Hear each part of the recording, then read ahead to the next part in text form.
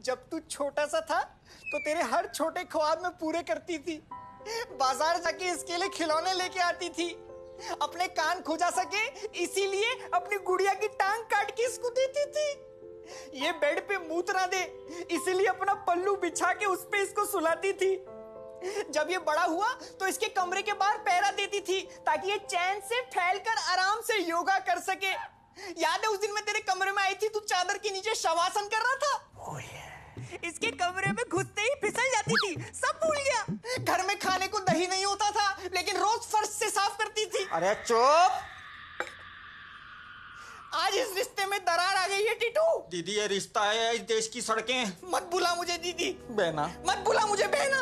आपा निकल जा मेरे घर से और आज के बाद मुझे खूनी चेहरा मत दिखाइयो। आज से ना मैं तेरी बहना ना तू मेरा टिटू।